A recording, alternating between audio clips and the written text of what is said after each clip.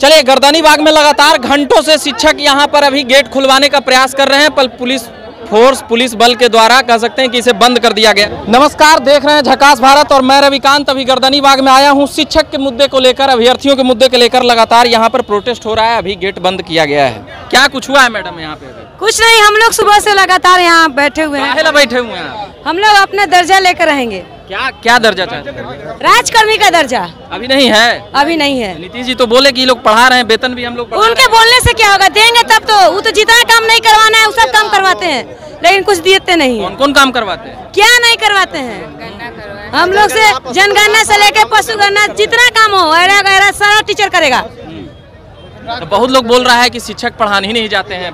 छुट्टी attendance maintain कर लेते हैं। बड़ी जगह। सरकार को रिपोर्ट में ही पता चल गया। कि 99 परसेंट विद्यालय में बने रहते हैं और पढ़ाते हैं। 99 परसेंट अभी जो आप आप आगे आइए सर। ये मैडम ना बोला था ना अभी 99 परसेंट जो रिपोर्ट में आया है कि बिहार के जाए- जितने भी शिक्षक हैं विद्यालय में कार्यरत है और शिक्षकों को शिक्षक जो है बच्चों को बहुत अच्छी तरह से पढ़ा रहे हैं और क्या गुणवत्तापूर्ण शिक्षा मिलती है इससे भी हम सभी लोग जान रहे हैं। आज बिहार के जितने भी बच्चे आई एस या या अन्य जॉब में जा रहे हैं ज़्यादातर बच्चे बिहार के ही जा रहे हैं। यदि शिक्षक नहीं पढ़ाते हैं तो फिर हमारे राज्य के बच्चे कैसे आगे बढ़ रहे हैं? ये हमारे राज्य के बच्चे आज पूरे देश लेवल पे नाम कमा रहे हैं। कितने सालों से आप पढ़ा रहे हैं? हम 20 साल से पढ़ा रहे हैं। क्या कुछ कहिएगा मुख्यमंत्री जी मुख्यमंत्री जी से हम यही रिक्वेस्ट करेंगे निवेदन करेंगे कि हम लोगों को राज्यकर्मी का दर्जा दे। हम लोग पूर्व से कई बार परीक्षा देते आए हैं। जितने भी परीक्षा लिया है सभी परीक्षा में हम लोगों ने पास किया है। तो अब क्या बार बार हम लोगों से बीपीएससी की परीक्षा ले रही है सरकार? अब एक ही परीक्षा को बार बार शिक्षकों से लिया जाएगा तो लोगों के लिए नया बीपीएससी का एग्ज़ाम लाएगा। बीपीएससी का जब हम लोग पूर्व अभी अभी कहाँ पढ़ा रहे हैं? अभी हम लोग नियोजित शिक्षक के रूप में कार्यरत हैं। नियोजित शिक्षकों को वेतन तो लगभग यही वाला दिया जाता है ना? नहीं ये पूरा हम लोग नया, नया वाला। नया वाला दे रहा है। न ही पुराना हैं नीतीश जी बोल रहे हैं कि बढ़ाए हैं हम और बढ़ाएँगे। बढ़ाए क्या है? ये तो जिस एक ही विद्यालय में किसी को डेढ़ लाख रुपया वेतन मिलता है सवा लाख रुपया मिलता है और हम लोगों को पैंतीस हज़ार छत्तीस हज़ार रुपया मंथली वेतन मिलता। है और वो भी वेतन और काम ही- भी जो है समान काम लेते हैं हम शिक्षकों से। मतलब समान काम समान वेतन। यही आपका कहना है। इच्छा है कि समान काम समान वेतन मिले और राज्यकर्मी का दर्जा मिले। जी सर। 2011 में हमारी बहाली हुई थी टेट के थ्रू। इसमें देखिए विज्ञापन जो था उसमें नियो, नियो। नियोजित वर्ड का कहीं यूज़ ही नहीं है। ठीक है? उसके बाद नोटिफिकेशन में। नियुक्ति था। नियुक्ति लेकर हमें नियोजन में डाल दिया गया। नीतीश जी चालबाजी की हैं। जो भी किए लेकिन ये सही नहीं था। नियुक्ति लेकर हमें नियोजित में सब में डाल दिया गया, ठीक है? उसके बाद जब एग्ज़ाम ये है इलेक्शन ड्यूटी हो, जातिगत गणना ड्यूटी हो, या जो भी ड्यूटी हो, सरकार की, उस समय हम सब राज्यकर्मी के तौर पे काम करते हैं। जैसे ही खत्म हो जाती है काम, उसके बाद हम सब पंचायती राज के शिक्षक बन जाते हैं, नगर निकाय के शिक्षक बन जाते हैं। मतलब इतना पार्टीशन क्यों? इतना पार्टीशन क्यों? टीचर का मतलब सिर्फ़ टीचर होना चाहिए। ना कि ये शिक्षक, वो शिक्षक, फलान शिक्षक, ढगान शिक्षक। इसीलिए समान काम समान वेतन का हम सबका डिमांड है राजकर्मी का दर्जा दिया जाए तथा पुरानी पेंशन को लागू किया जाए। नीतीश जी ही हम सबको बहाल किए हैं उम्मीद भी उन्हीं से है ठीक है? तो इसलिए हमारी डिमांड यही उम्मीद है आप एकदम बिल्कुल सरकार से उम्मीद नहीं रहेगी तो किससे रहेगी? मुख्य- मांगे ये है कि नियोजन नहीं नियुक्ति नियुक्ति राजकर्मी का राजकर्मी का दर्जा। नियुक्ति दिया जाए। ये ठीक ये जो है सरकार। ये दी है सरकार से जिस प्रांत में जिस प्रांत में गुरु की प्रतिष्ठा नहीं रहेगी। आपने देखा कि नंदवंश जो था चाणक्य के बारे में आपने सुना होगा। घानानंद ने उनको अपने महल में बेजत किए तो पूरे उनको सामूल को नष्ट किया चंद्रगुप्त मौर्य तो ने नीतीश जी को नष्ट हो, हो जाएँगे आप लोग का नहीं भला कर हमने तेजस्वी पर विश्वास कर उनको वोटिंग किया मैंने नीतीश को नहीं किया। यदि इस, बार विधान यादव को हाँ वोट दिए हम लोग। हाँ पूरे हमारे शिक्षक समाज तेजस्वी को वोट दिया है। यदि हम लोग की मांग नहीं पूरी होती है तो मैं आपको बता देता हूँ कि 2025 का जो विधानसभा का चुनाव होगा उस, उसमें अच्छा आप लोग संख्या कि, कि, कितने नियोजित शिक्षक की हम लोग चार लाख नियोजित शिक्षक हैं। अभी यहाँ पे चारों चार हज़ार के आसपास नहीं नहीं यहाँ की कार्यपालिका यहाँ की पुलिस व्यवस्था ने मार्केटिंग का कार्य किया है। हम लोग को सही ढंग से अंदर नहीं जाने दिया है। यहाँ के यहाँ के यहाँ के अपर मुख्य सचिव का बयान यहाँ का अपर मुख्य सचिव का बयान आया था।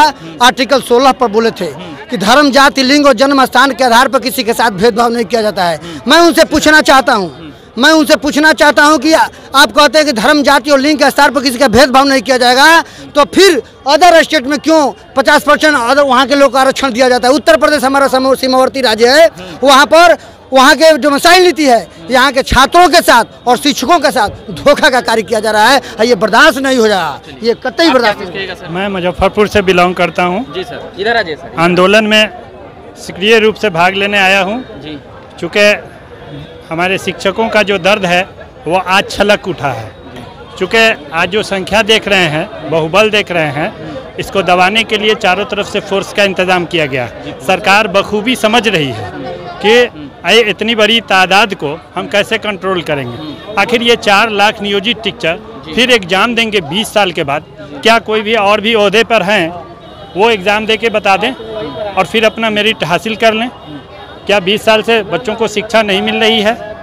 ये सवाल के घेरे में हैं हम लोग। मतलब आपका मुख्य हाँ, मुद्दा है, मुद्दा है। कि परमानेंट हो हाँ जी। और समान काम समान वेतन। सम, समान काम समान वेतन मिले वो तो है ये राजकर्मी का दर्जा मिले राज्यकर्मी राजकर्मी का। दर्जा मिले कोई एग्ज़ाम अब हम लोग नहीं देंगे दक्षता भी दे अच्छा, आप दिया लोग आप लोग जनगणना वाले में तो शामिल हुए हुए हम लोग हर चीज़ में काम करते हैं सरकार के आदेश के अनुसार हम लोग सारे काम को करते हैं। समझे नहीं? हम उसका यानी हम क्या कहें कि हम उसकी जो भी हुक्म मिलती है जितनी भी मतलब काम उनका होता है उसमें टीचर बहुत तहे दिल से तर- तन मन धन से जो है कि नहीं मदद करते हैं सरकार को साथ लेके चलते हैं। लेकिन सरकार की ये स्थिति है कि हम लोग को पाट करके हम लोग की स्थिति को इस तरह बना दिया है।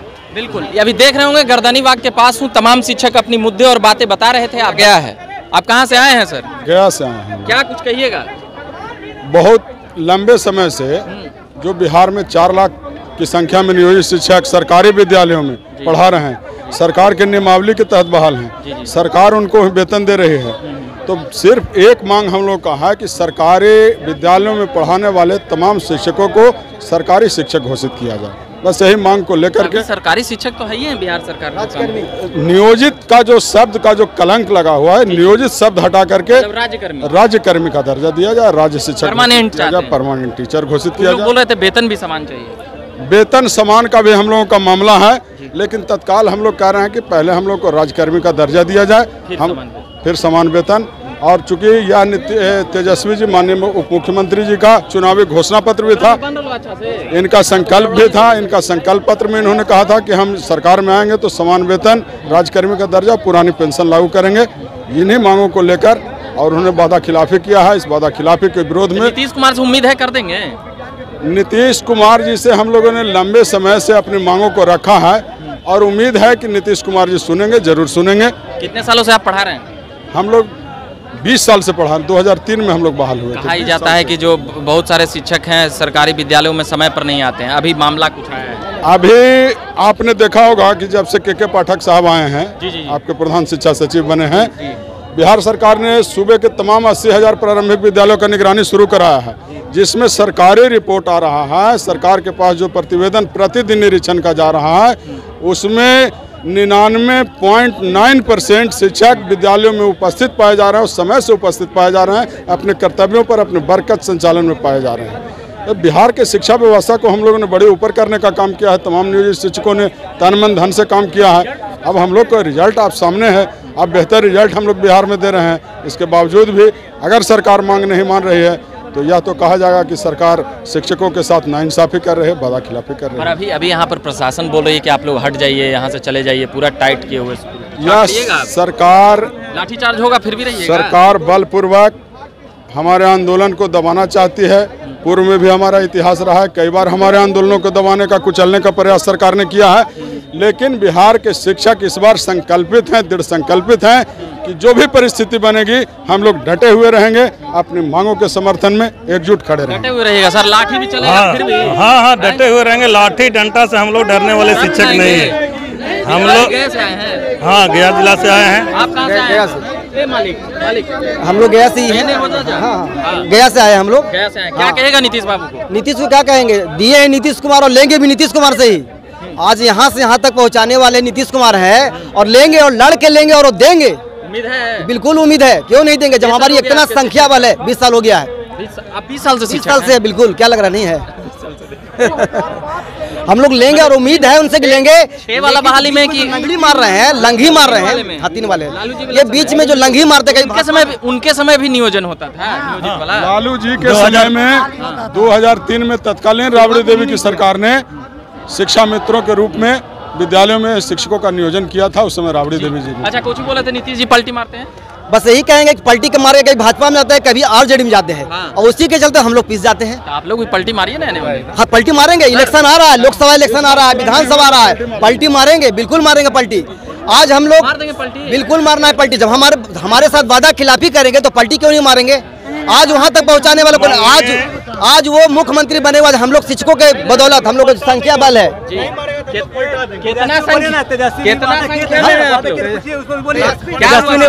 तेजस्वी मेरे ही जैसे सरकार बनेगी तो पहली बार पहली कलम से जानते हैं सबका वेतनमान और राजकर्मी का दर्जा मिला। अब कहाँ गए हो? अब उन्होंने जानते कुर्सी बैठ गए बताइए ना उनसे कम पढ़े हुए टीचर हैं। तो दोनों तो मिल गए नीतीश और तेजस्वी मिल गए। मिल गए बताए कुछ नहीं बोल रहे हैं इसके बारे में। बताइए क्या मन तेजस्वी जी बोले थे ना कि होगा। हाँ वो तो काहे नहीं अब दे रहे अब तो सरकार में है अब तो बने हुए हैं तब कुछ बोल रहे हैं इस पर कुछ कमेंट भी नहीं कर रहे हैं। आप- बोलना आश्वासन देना चाहिए। आप लोग कुछ ज्ञापन वापन सौंपे हैं? ज्ञापन तो भी सौंपा है, ज्ञापन के लिए सब लोग मिल के दे ही रहे हैं। दे रहे हैं लेकिन कुछ अभी कुछ अभी नहीं आप सरकार तरफ़ से आ रही है। बताइए अब तो यहाँ पर इतना टीचर लोग बार बार ज्ञापन दे रहे हैं लोग सरकार से मांग कर रहे हैं कि हम लोग को कब से राज राज दर्जा दिया जाए। लेकिन कुछ सुनने वाले नहीं है। किस पे है? नीतीश जी पे कि तेजस्वी जी पे? भरोसा तो देखिए इन लोग इनके अंतिम भरोसा अब टूटने वाली है। अब अंतिम देखो अंतिम परीक्षा जिस तरह से हम लोग लिया जा रहा है अंतिम परीक्षा बताइए पहले पहले पात्रता परीक्षा थी फिर टेट किए तो टेट भी पास किए तो आप बताइए बीपीएस कीजिए। आखिर जब ऐसा बात है तीन पेंशन क्यों लेते हैं? बताइए समान नागरिक संहिता की बात होती है और तीन पेंशन क्यों लेते हैं? बताइए अपना इन लोग का नियम कानून अलग अलग है। हैं बताइए संविधान वो बनाते हैं। और हम लोग बताइए पढ़ा लिखा कुछ नहीं बना सकते हैं। हैं? जनगणना होती बताइए। भरोसा हम लोगों के अपने संख्या बल पर है। साढ़े चार लाख की संख्या में हम लोग हैं। और सरकार साढ़े चार लाख आते थे यहाँ पटना देखिए जगह जगह बैरियर लगा के सर सुनिए। जगह जगह बैरियर लगा के शिक्षकों को रोकने का काम किया जा रहा है। आप गांधी सेतु पर जाके देखिए आप दीघा पुल पर जाके देखिए। जगह जगह गाड़ियों को रोका जा रहा है। लगभग पचास हज़ार से ऊपर शिक्षक जो है गांधी सेतु और दीघा पुल पर फंसे हुए हैं। और सरकार जब जब डरती है तब तब हमारी मांगे पूरी होती है। इस बार भी हमारी मांगे पूरी होगी होगी और होगी। होगी होगी होगी। हम लोगों को संवैधानिक अधिकार से वंचित किया जा रहा है। जानबूझ के सरकार हम लोगों को संवैधानिक अधिकार से वंचित किया जा रहा है। मैं सरकार से पूछना चाहता हूँ कि ऐसा देश का कोई विभाग है जिसमें 20 वर्षों से कार्यरत कोई भी कर्मचारी को राजकर्मी का दर्जा के लिए एग्ज़ाम देना पड़ता है। हम लोग एस्टेट हैं बीटेट हैं, उत्तीर्ण होकर के ट्रेनिंग करके आज 10 वर्षों 15 वर्षों से शिक्षक बने हुए हैं। और शिक्षक को राजकर्मी दर्जा देने के लिए उसको पुनः एग्ज़ाम देने की ज़रूरत है। क्या हम लोग पाकिस्तान से आए हैं क्या? हम लोग पाकिस्तान से किसी राज्य के? हैं। और परीक्षा दें परीक्षा परीक्षा परीक्षा कितना परीक्षा हम दें? बताइए आप। हम सरकार से पूछना चाहते हैं राजकर्मी दर्जा। बोले कि हम पैसा तो धीरे धीरे बढ़ा ही रहे हैं आप लोग चालीस हज़ार वेतन कर क्या बढ़ा रहे हैं आप? बढ़ा रहे हैं। ये कोई अब खेरात मांग रहे हैं? ये जगह चार तरह का शिक्षक है गेस्ट फैकल्टी है क्या कहते हैं पद नियोजित है नियमित है। और फिर भी अभी देखिए जो 2023 का जो नियमावली लाए ला- लाए हैं सरकार उसमें भी वो चाइनीज़ तिरानवे सौ का कहाँ है उसमें? चाइनीज़ नहीं चाइनीज़ वो वेतनमान चाइनीज़ वेतनमान होता है चाइनीज़ वेतनमान उसको भी तोड़ का एक नहीं होता है बीच का जो है वो रास्ता निकाले हुए हैं। चलिए तमाम बातें आ रही है और भी हम लगातार शिक्षकों से बात कर रहे हैं और अगले अगले भाग में और भी शिक्षकों से मैं बात करूँगा। अभी के लिए इतना ही कहूँगा। मेरा नाम रविकांत हुआ धन्यवाद।